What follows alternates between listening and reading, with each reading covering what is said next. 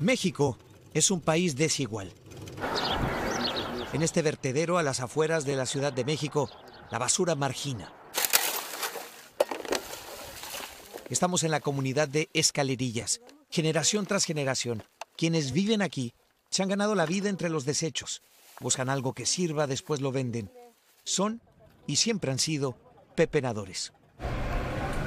Pero en esta camioneta, esta mañana, llegan aquellos que podrían cambiar la historia.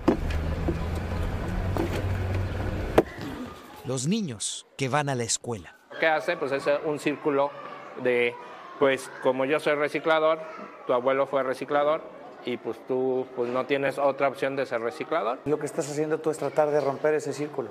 Lo estamos tratando. de- Él es Alan. Está al frente de esta escuela para niños de bajos recursos.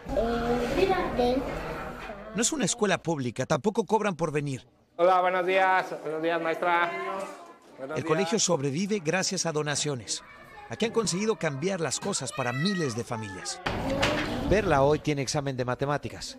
Sus papás venden la basura que encuentran en el relleno sanitario. Como no tienen trabajo, la verdad, no me da pena, pero me pena en la calle. ¿Qué quieres hacer de grande? Pues ahorita no sé, pero me gustaría ser licenciada, algo así llegar a algo grande. ¿Qué esperas para tus papás? Que tengan una mejor vida, por eso estoy estudiando, porque ya no los quiero ver así. Aquí estudian 115 alumnos desde kinder hasta sexto de primaria. Pero ¿cuántos niños más necesitan un aula en este país? La pobreza es uno de los principales problemas con la educación en México. Uno de cada cinco mexicanos tiene rezago educativo, es muchísimo. Ciertamente, efectivamente estamos hablando de casi eh, un poco más de 25 millones de mexicanas y mexicanos que están con esta carencia de rezago educativo. José Nabor Cruz es secretario ejecutivo del Coneval, el organismo que mide la pobreza en México. Y sí, escuchó bien, uno de cada cinco mexicanos tiene rezago educativo. Pero rezago educativo es que no van al colegio y o que no, han ter- que no terminaron La primaria, primaria. aquellos adultos que Los nacieron adultos. antes de 1982. Pueden ser cualquiera de las dos cosas. Si son menores es que no asisten y si son mayores es que no tienen eh, la primaria terminada. Eso, efectivamente. Además, los últimos datos de la prueba PISA, el programa que evalúa la educación en los países más desarrollados, muestran que en 2022 México retrocedió casi una década en matemáticas y en lectura. ¿Qué nivel de prioridad pone usted ah, a la educación para el próximo gobierno? El número uno, junto con el tema de salud. El 85% de los niños indígenas no tienen acceso a Internet. Se necesita, nos dice, mayor inversión en tecnologías, más colegios en los lugares más marginados. Si vamos a ayudar, ayudemos bien. En la escuela de Alan acaban de construir tres salones nuevos.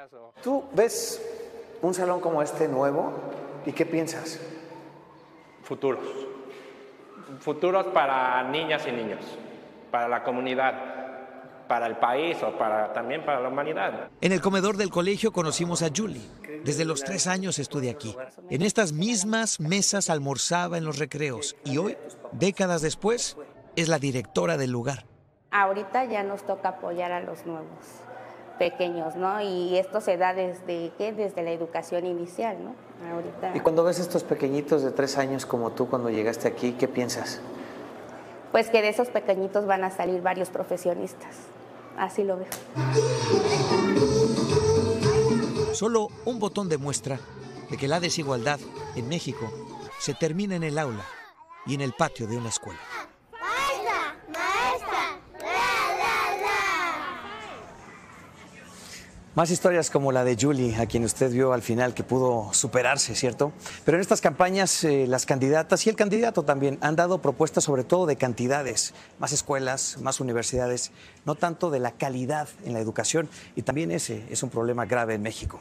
Aquí en Noticias Telemundo estamos comprometidos a mantenerlo informado sobre esta contienda electoral y por eso todos los días le estaremos llevando los últimos detalles y este domingo, claro, el día de elecciones, programa especial desde las 9 de la noche 6 de la tarde en el Pacífico de Estados Unidos.